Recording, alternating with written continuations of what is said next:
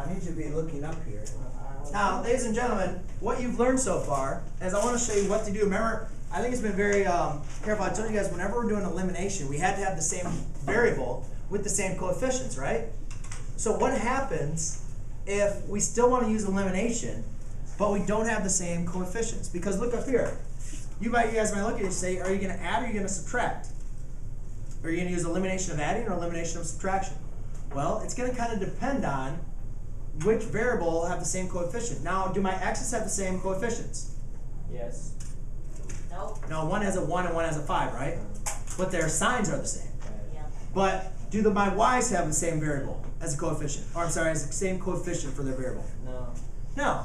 So what I have is I have a problem. I cannot use elimination when I do not have the same number in front.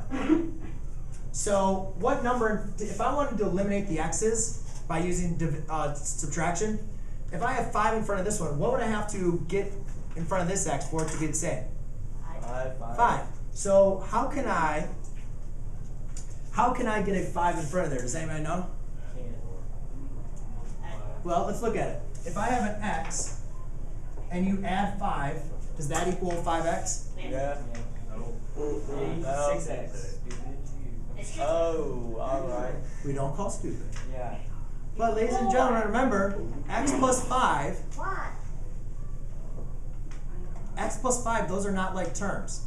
x plus five is still going to equal x plus five. Okay? Those are not equal to each other.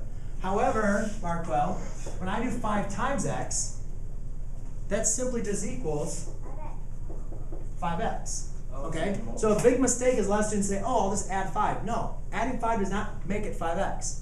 However, I can multiply by 5.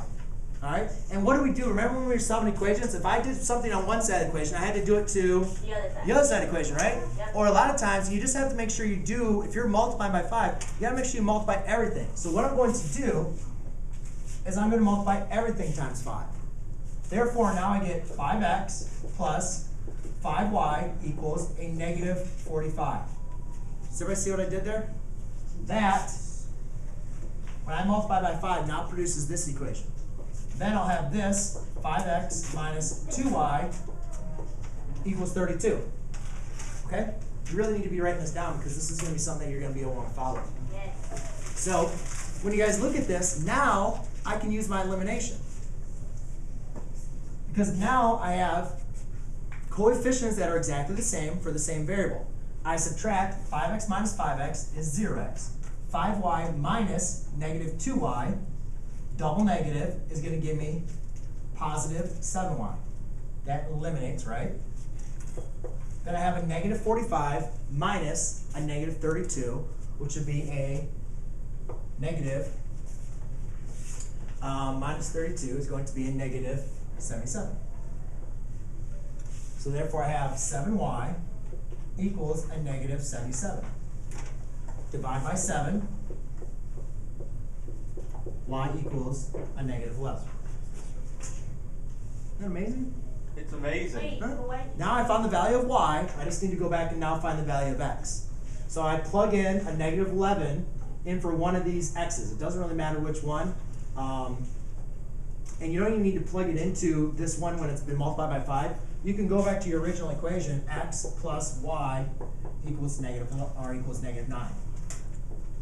So go back to one of your original equations, plug negative 11 in for y. Actually, I'll write that like this. x plus negative 11, which is really x minus 11 equals negative 9. Add 11, x equals positive 2. And therefore, you found the solution.